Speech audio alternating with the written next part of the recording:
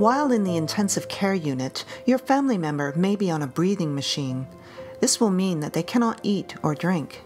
Instead, they will be given nutrition through a special liquid that provides a fully balanced diet. Nutrition in the intensive care unit is important and must be given in the right amount and type. It works like medication and is called nutrition therapy.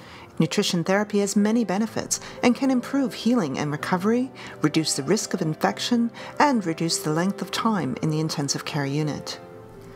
There are different ways that nutrition is given to patients in the ICU. Tube feeding is used to feed the liquid directly into the stomach or intestine. Intravenous or IV feeding feeds liquid directly into the blood. Sometimes a combination of both tube and IV feed is used. Tube feeding is a standard part of care in the ICU. It's used if the patient's stomach and intestines are working. As they get better, they may start eating by mouth along with the tube feeding. If the patient's stomach is not emptying properly, there may be gastric reflux or aspiration, where the contents of the stomach move backwards into the food pipe or enter the airway and lungs. This can lead to problems such as pneumonia. The healthcare team will help reduce the risk of this happening by giving medication to help the stomach empty faster, raising the head of the bed, and moving the feeding tube further into the intestines. IV feeding, which is a tube that delivers nutrition directly into the bloodstream, is used if there are stomach or bowel problems or tube feeding is not working well. IV solutions are made up carefully using a sterile process, and patients are monitored closely for side effects such as high blood sugar or liver problems.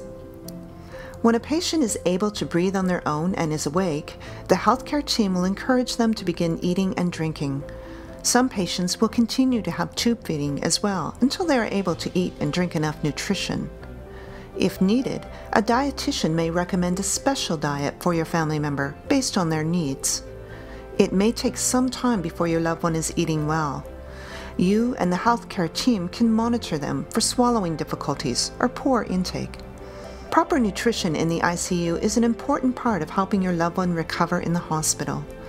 By staying informed and asking questions, you can help the healthcare team provide the right care and ensure that your family member receives the nutrition they need to get better. If you have any questions about nutrition therapy or are concerned that your family member isn't getting enough nutrition, make sure that you talk with a doctor, nurse, or dietitian.